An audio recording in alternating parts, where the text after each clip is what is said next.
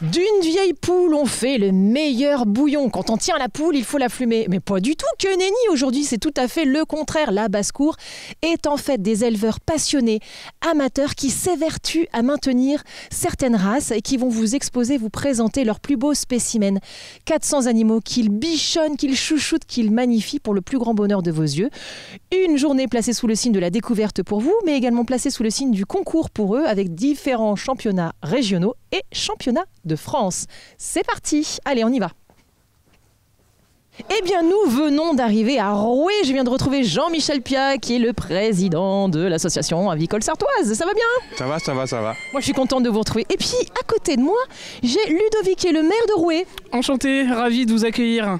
Ah bah, on est ravis d'être là, nous. hein. Alors, monsieur le maire, je m'adresse d'abord à vous. Euh, Qu'est-ce qui a fait que vous avez eu envie d'accueillir euh, ce bel événement euh, chez vous?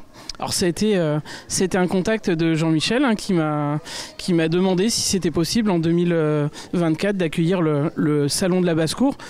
Alors nous, euh, on n'a jamais accueilli ce genre d'événement et c'était une opportunité euh, bah, de pouvoir faire découvrir en milieu rural euh, des petits animaux qu'on pense tous connaître. En fait, on est loin de connaître tous ces animaux. Ah oui, on a- il y en a vraiment de nombreuses espèces et pour le coup, puis ils sont très très beaux. Et puis surtout, on les voit plutôt quand on les mange. Et là, en l'occurrence, on les chouchoute, on les bichonne.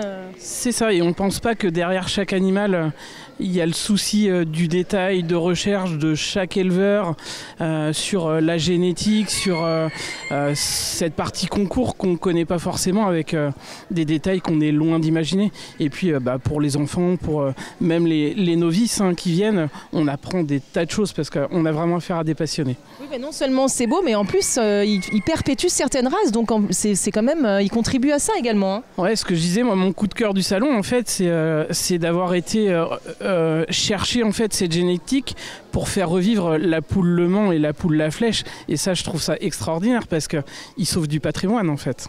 C'est très joli la manière dont vous en parlez parce que vous en parlez avec ferveur, vous avez l'œil qui pétille, c'est trop mignon. Et alors puis vous, j'ai l'impression que Roué, c'est l'épicentre des, des télévisions. hein. Tout le monde vient vous voir ici. Ah, on, on est souvent à contribution. Semaine dernière, mercredi, il y avait euh, TF1 qui était là pour euh, euh, les relations entre secrétaire de mairie et, et maire, et puis cette difficulté à former des, des secrétaires de mairie. Hier, il y avait Laure qui était là pour euh, au quotidien. Laure Girard, hein, qui est notre rédactrice en chef qu'on aime tous évidemment. Et puis là, on a des agriculteurs de l'amour et dans le pré, puisque bah, euh, il y en a quelques-uns, euh, notamment euh, trois ou quatre de l'émission, qui passent régulièrement à Roué, donc c'est vraiment chouette. hein. faut venir à Roué, hein, vous allez voir plein de monde. Bon alors Jean-Michel, Jean-Michel, combien avons-nous d'exposants cette année? 40 exposants ici, pour 400 cages.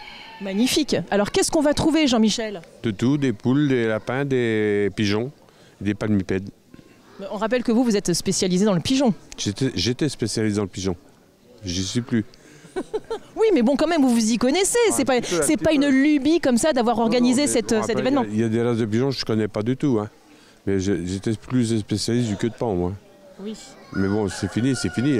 Non, mais je m'en souviens, je m'en souviens très bien. Bon, alors donc, on va aller peut-être à la rencontre de, de certains de nos exposants, justement, découvrir ces beaux spécimens. Oui, oui, tout à fait, d'accord, on y va. Alors, il paraît qu'il y a une championne de France, j'irai bien la voir, moi. Oui, une championne de France de la poule UP. Eh ben, très bien, ben, je vais aller, on va aller voir ça de plus près. Allez hop Bon, je suis servie, je suis très très bien entourée. Enfin, je suis pas la seule fille. On dirait moi le matin, elle a une belle coupe de. Exactement. Une belle houppe. Une petite, euh, une petite boule de neige sur, la, sur une, petite, euh, une petite bête, une hollandaise à huppe euh, blanche de- par le fait, où on retrouve, allez, fais ton plus beau profil, on retrouve un joli petit papillon vraiment sur la tête, donc c'est ça que le juge regarde bien, une huppe bien dessinée, bien colorée, bien blanche, jolie, et un joli papillon dessiné que les éleveurs avant, avant l'expo et avant le jugement s'amusent à bien dessiner, bien couper au coupe-ongle, hop, au petit ciseau pour bien faire un papillon bien joli, bien propre pour que bah, ça sorte en, euh, en champion de France. Ah non, mais elle est magnifique, on dirait une petite poule afro. Alors, et alors, les, plumes, les couleurs sur les plumes sont incroyables. Exactement, on peut retrouver des, des reflets bleus, des reflets verdâtres, violets, un peu comme on pourrait retrouver sur, sur un cayuga.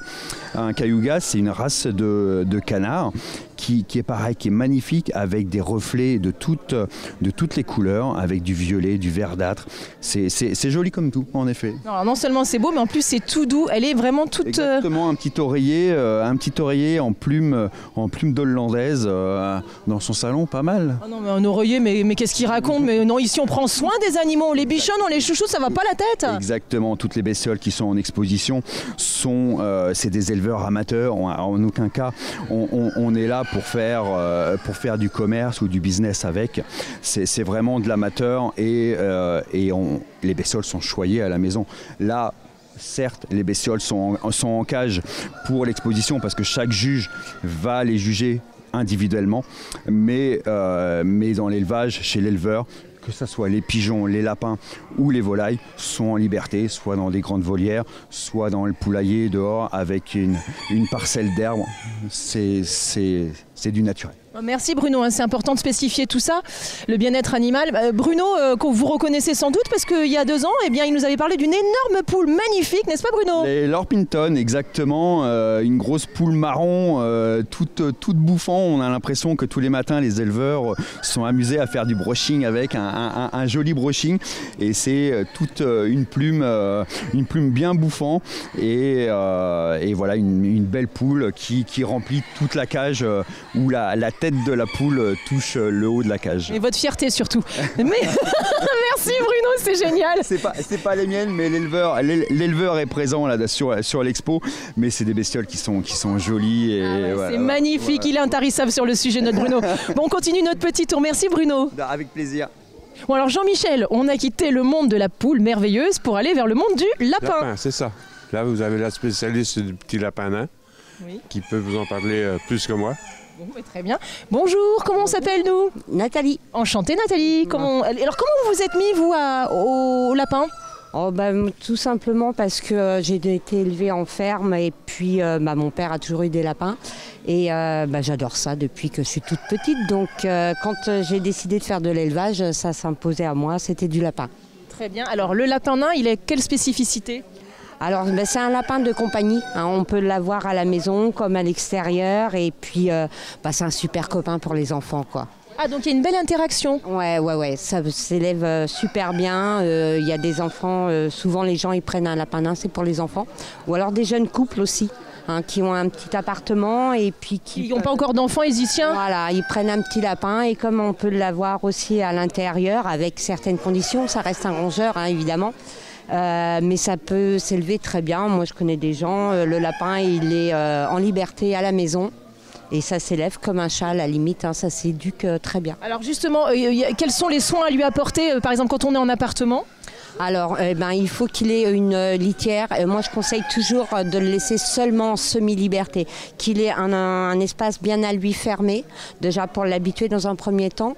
Et puis après, on peut l'habituer petit à petit. Ça se fait très bien, quoi.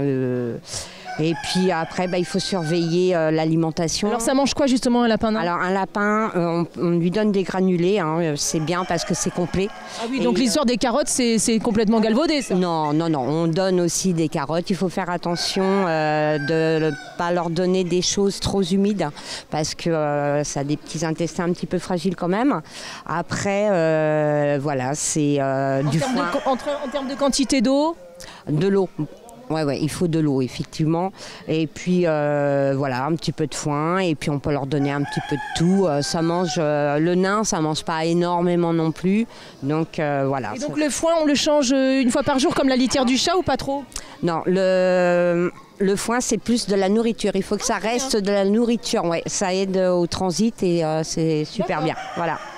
Ok, bah, très bien, mais formidable. Bah, Merci pour toutes ces informations, euh, Nathalie. Si on a envie de venir vous voir quelque part, voir vos lapins. Alors, euh, j'habite à Dolon. Ah très bien, donc Voilà. à Dolon et donc c'est Nathalie. Nathalie Aubier. Très bien. Donc bah, comme ça on trouve euh, toute l'adresse et tout ça. Voilà. Bah. Impeccable. Bah, Nathalie Aubier à Dolon, voilà, c'est super si vous avez envie de voir des petits lapins nains tout mignons. Merci Nathalie. Je vous en prie. On a quitté le monde des lapins pour le monde des palmipèdes, n'est-ce pas Jean-Michel C'est ça, tout à fait. Et alors est-ce qu'on a un spécialiste avec nous? Oui, oui, il y a Benoît à côté là qui est vraiment le spécialiste. Bon alors. Bonjour Bruno Bonjour. Ça va bien? Ça va très bien, oui. Un autre Bruno, il n'y a que des Bruno Il y a aujourd'hui. Que des Bruno aujourd'hui, oui. Alors vous, il paraît que vous êtes le spécialiste français des palmipèdes. Oui, je suis président d'une association de palmipèdes domestiques Euh, ça s'appelle euh, bien. Ah bah oui, bah, c'est marqué sur votre euh, blouson en même temps. hein, Voilà, c'est ça. Alors justement, qu'est-ce que vous pouvez nous raconter sur... Parce que là, je- on a des gros gros palmipèdes quand même. Oui, là, ce sont des gros palmipèdes qui. Ce sont des rois là, que vous avez euh, devant nous. Euh, Il y a encore plus gros, il y a les oies, il y a... Du coup, moi, j'ai tout- toutes les variétés de, de palmipèdes domestiques euh, de, de la France. Alors ça représente combien de variétés justement précisément Voilà, beaucoup de variétés.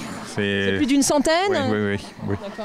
Et on est là aussi pour euh, sauvegarder les races qui sont en perte aussi et, et c'est compliqué. Ça Et, devient juste- compliqué. et justement, alors non seulement vous préservez les races, ça c'est très très important de le dire, parce que vraiment ces animaux, encore une fois, je le répéterai jamais assez, vous les bichonnez, vous en prenez soin. Mais euh, est-ce que pour vous, c'est un peu plus compliqué au niveau lég- légal? Est-ce qu'il y a des, des normes qui sont plus compliquées, plus dures, que ça s'est resserré? Alors dans les domestiques, on n'a pas ce problème-là, mais dans les ornements qu'on peut aller voir euh, derrière, c'est plus compliqué parce qu'il y a des normes, il y a des autorisations euh, et, et tout ça quoi. Donc ça vous complique la vie, vous. Ça complique un peu la vie quoi. Alors que pourtant vous prenez soin des animaux, vous êtes là pour le bien-être animal et pour les préserver, les mettre en Et beauté. garder les, les races euh, qui sont en voie de disparition. Donc, alors là, par exemple, typiquement devant nous, est-ce que c'est des races qui sont plutôt euh, Les, les Rouen, ils, sont- ils, euh, ils- étaient en perte de, de volume aussi. Et là, on commence un peu à en revoir, mais ça devient aussi compliqué. Quoi. Et alors vous parlez des, des- des- donc des, Des ornements. des ornements. Des, là, c'est là que c'est plus compliqué, puisqu'il y a, il y a des autorisations à avoir euh, et, et tout ça. Quoi. Et donc euh, là, pour le coup, c'est des races qui sont en... Les races qui sont présentes aujourd'hui sont autorisées, on n'a même pas besoin de- d'autorisation. Très bien. On peut les avoir comme, euh, comme les, les domestiques. Et là, c'est du canard sauvage, du coup. Du coup, ce sont des variétés sauvages. Ah, Mm. Très bien, très bien. Bon, bah écoutez, me- merci pour toutes ces informations, euh, Bruno. C'est formidable, c'est fantastique. Jean-Michel, c'est pas qu'on s'ennuie, Non, non. mais on a encore à faire, nous. J'imagine, oui. Mais c'est merveilleux, ce monde de la basse-cour. hein. C'est merveilleux, Il y, a- il y aurait tellement à dire, on pourrait y passer des heures. Il y a beaucoup à, fa- à dire et à faire, oui, c'est vrai. Est-ce que vous avez des petites choses à nous annoncer, Jean-Michel? Bah, Avec pour l'ent- l'entente avicole sartoise pour l'instant, non. On va faire au mois de au mois de février, on vient faire notre assemblée générale à l'ouest, justement. Oui. Comme on a eu un accueil extrêmement chaleureux.